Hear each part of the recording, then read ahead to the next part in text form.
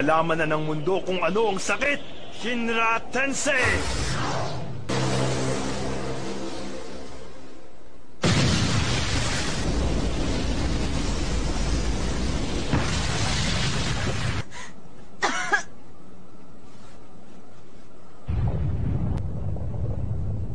Teka, ano nangyari? Bakit? Naruto! Bumalik ka na!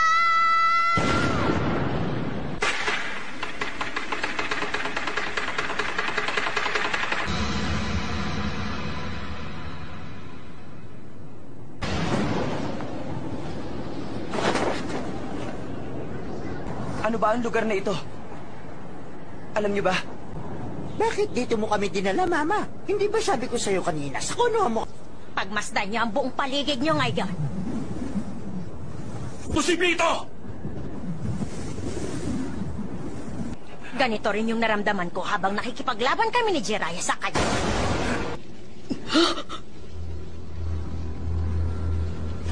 ano? Ano nangyari dito? Wala namang masyado nasaktan pero ang bayan natin... Si Naruto nga! Si Naruto?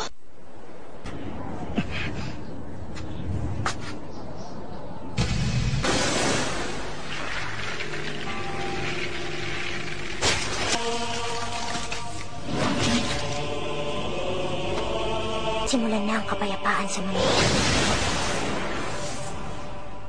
Kasama niyo yung technique.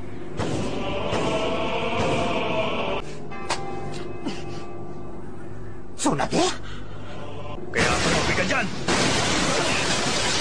Akong bakay mo, hindi ba? Mayo na kayo. Hindi ko hahayaang humawak ng basura ang Hokage. Magkape ka na lang habang nan... Pinatay niya yung isang pain sa isang atake lang. Naruto, Uzumaki Naruto. Humanda! Yamakichi! Paki... Pakisabi na lang sa kanilang lahat na walang makikialam. Ayokong may madamay pa na... Sige na! Yamakichi!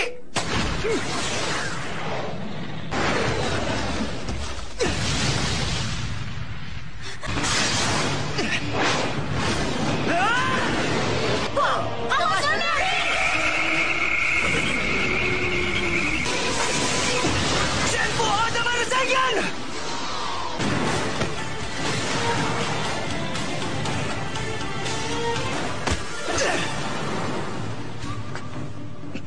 sige.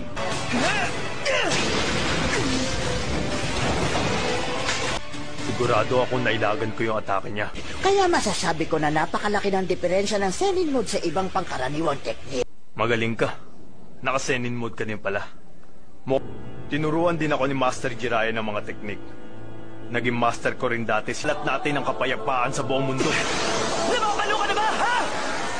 Nababaliw ka na nga talaga! Kaya patatangin ka na kita! Ito ang bunga ng pagpapagod ko sa training!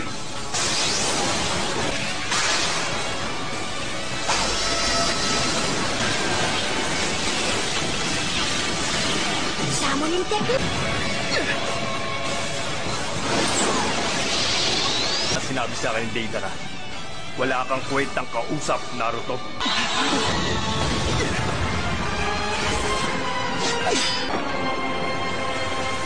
Humihina na ang pag-atake niya.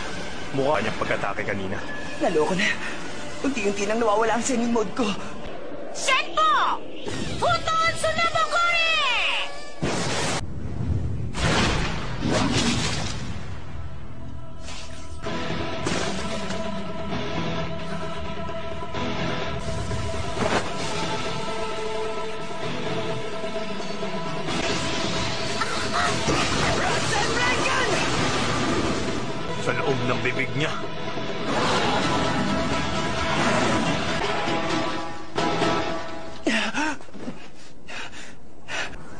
Wala na bang bisa ang senjutsu mo ngayon? Ako naman na magpapahirap sa'yo. At yun ang gagawin niya ngayon. Lumapit ka rito at ikirisin kita! Bilisan mo! Sabi mo, kailangan niyo lumayo sa akin para hindi kayo mahagip ng gagawin kong Rasen Shuriken! Guruhin mong matatalo mo siya! Rasen Shuriken na lang ang magagawa ko ngayon. Kaya kailangan ko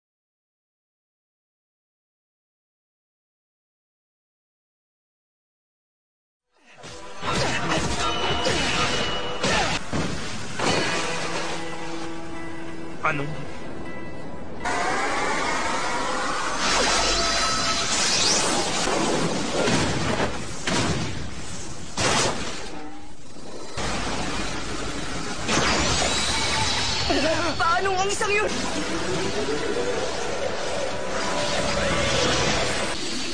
Ihagis na ang mga smoke bomb! Ngayon na!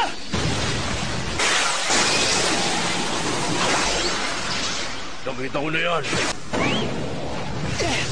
Hindi mo maihigo pa physical na energy.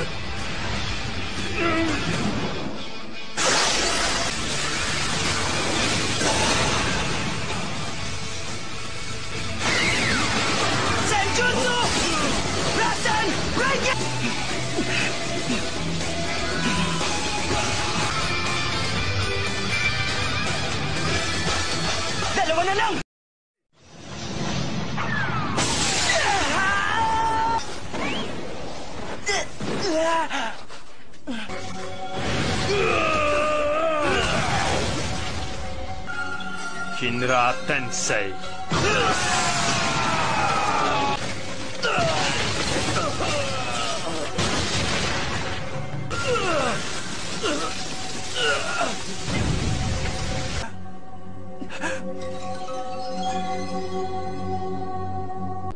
Napatunayan ko na ngayon malakas ka talaga. Ikaw pa lang ang nakapagbigay ng Shotei!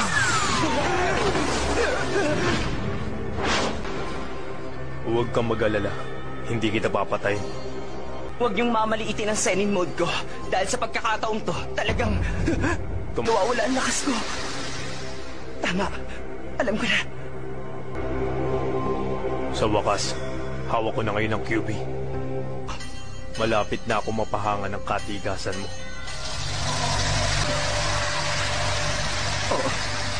Tama. Naintindihan ko na.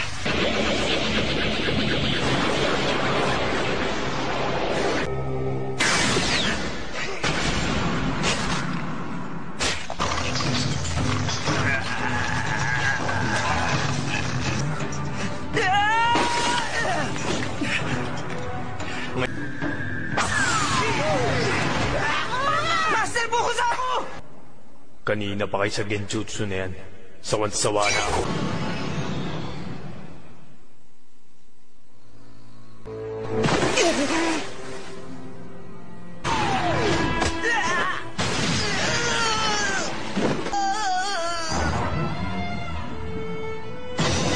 Huwag ka na ngayon kahit konti. Di ba, QB? Ano ba talaga gusto mo? Bakit naman ginagawa to? Hin- Gusto mo malaman ng dahilan kung bakit ko ginagawa to? Ganun ba yun? Kung pipiliin ko ang mga salitang gagamitin ko, baka sakaling maintindihan mo. Wala ta. Ako ang magdadala ng katarungan at kapayapaan. Pinatay mo, master ko. Ang guru ko. Sinak... Layunin ko na durugin ka! At pagkatapos, ibabalik ko ang kapayapaan sa mundo na... Oo lang. Kaya ko nilikha ang Akatsuki ay para maputol na ang galit at pot na ito. Yon ay ang pagbibigay mo sa akin ng kapangyarihan ng QB. Kamatayan mo ang magbibigay daan sa kapayapaan.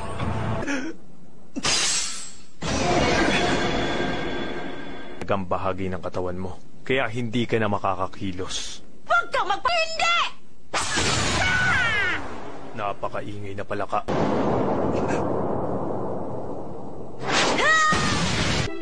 Hindi ako makapapayag na saktan mo si Naruto! Kak- Sa pagkakataong ito, sa simula pa lang hinahabol na kita. Gustong gusto kong makasabay sa'yo. Dahil yun sa mahal kita.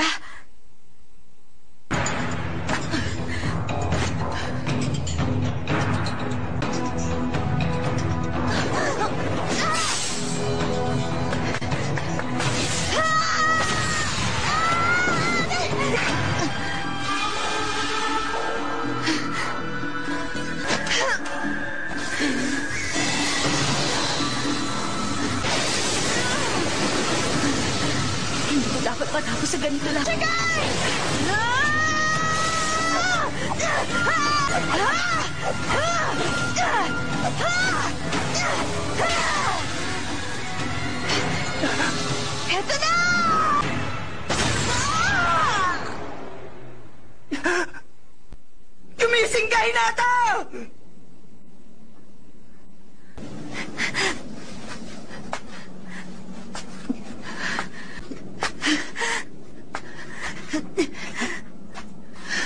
Tama na.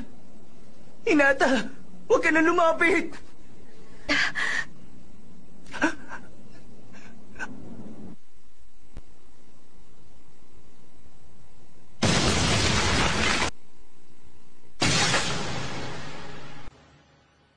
Pagmamahal nagmumula ang sakripisyo.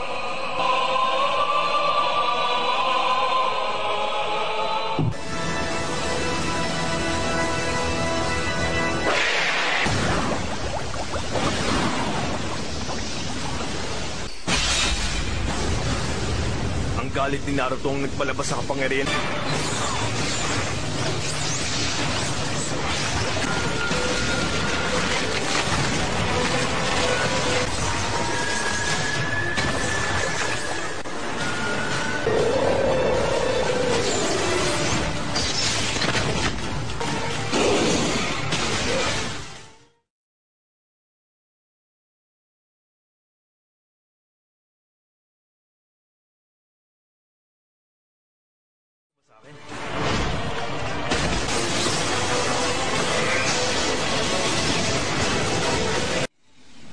Yan ang gusto mo. Pero,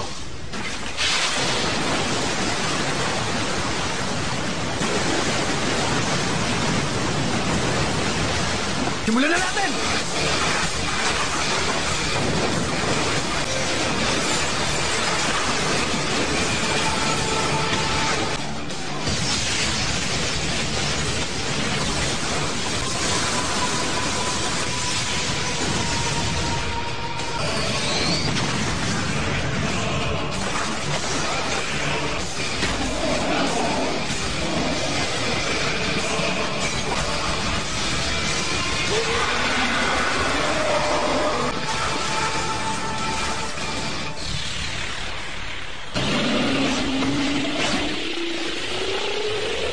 Nagawa niyang pigilan ng seal.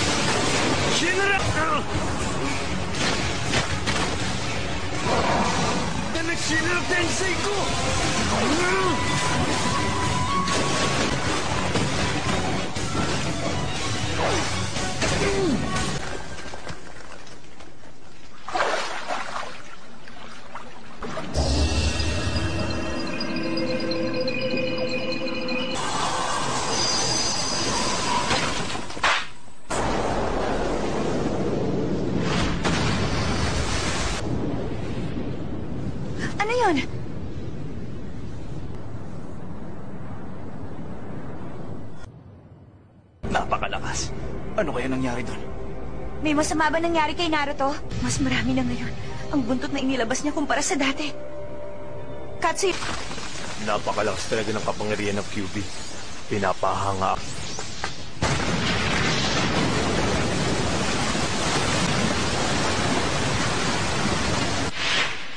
Si Naruto at si Pain.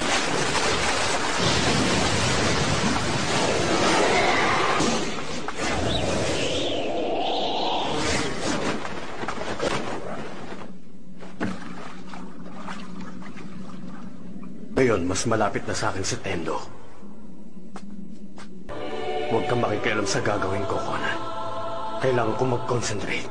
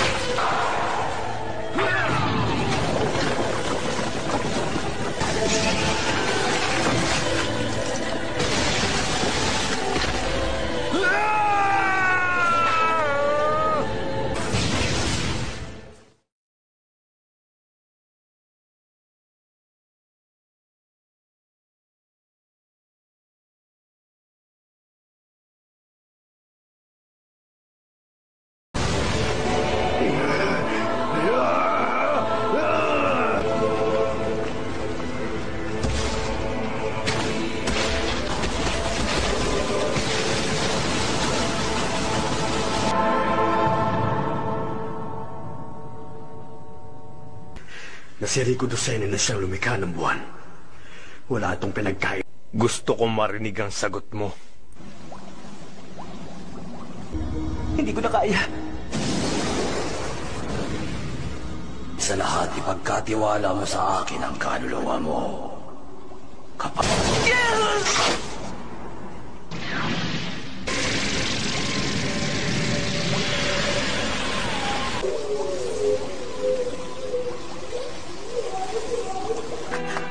Walong buntot na. Hindi ito pwede. Delikado na kapag nagpatuloy pa ito. Hindi ko ina...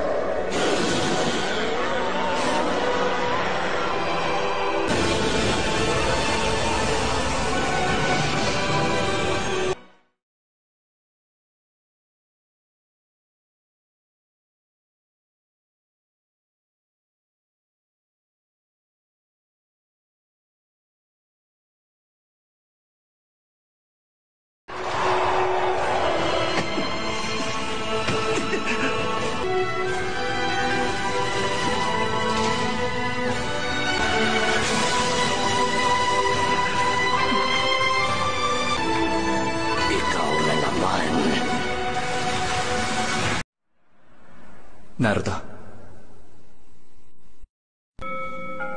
Hindi ko ito ginusto ang muli tayong magkita. QP. Masaya ako makita na malaki na ang aking anak. Kaya masasabi ko maganda na yun. Tama ko ron, di ba Naruto? Ano yun? Alam mo ang pangalan? Anak? Pangalan ng anak? Kung ganun, ako ay ang yung... Ikaapat na Hokage!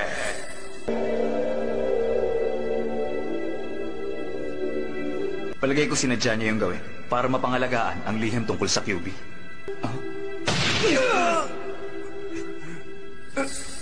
Matagal na panahon ko tiniis sa malalamig na tingin sa akin ng mga matatanda.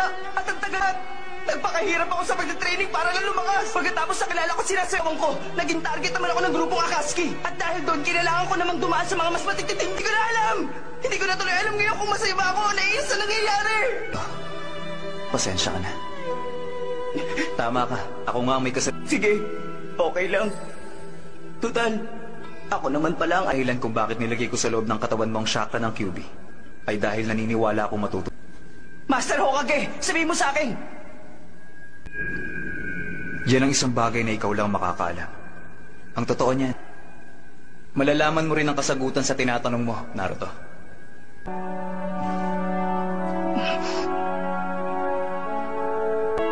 Ibabalik ko na uli yung seal. Pero, ito na ang huli. Saan kita? Naruto ko. maraming salamat. Anak, Hindi ko inaasahan na magagawa niya makawala sa ship. Biglang nawala ang QB.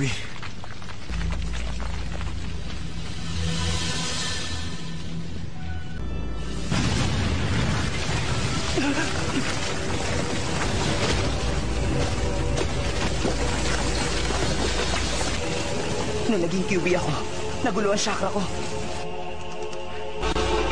Nakikita ko na nasa Zenin mood siya ngayon. Palagay ko oras na para tapusin natin to. Kung mo malaman ang lasa ng totoong sakit, hindi mo lubos na mauunawaan ng isang tao. Ako na lang ang maghahanap sa totoo mong katawan. Pero paano mo gagawin?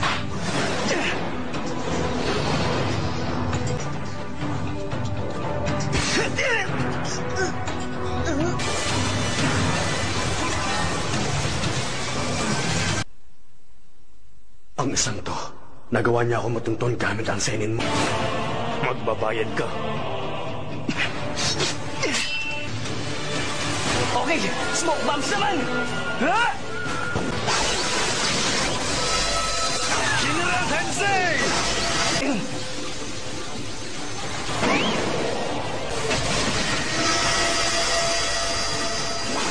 Tatlong segundo pa bago ko huli magamit ang teknik ko. Pero okay lang. Dahil... Ha? Paano? Meron pa dalawang segundo!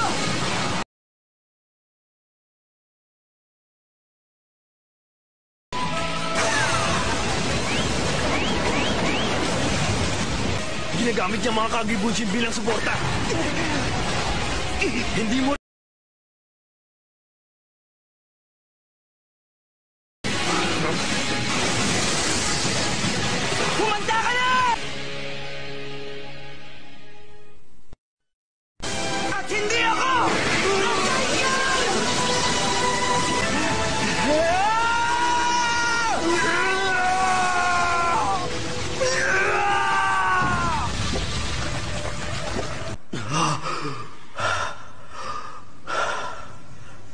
Anong na... Nang talunin. Ang pinakahuling pain.